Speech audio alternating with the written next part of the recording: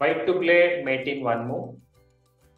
Yes, uh, there are a few checks like uh, one, two, three, four, five, six, seven.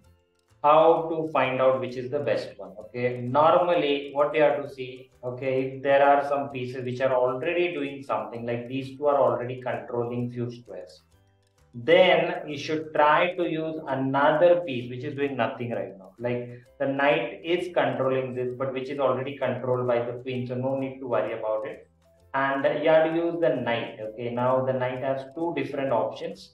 If you go here the problem is rook can take it. So this one is not good.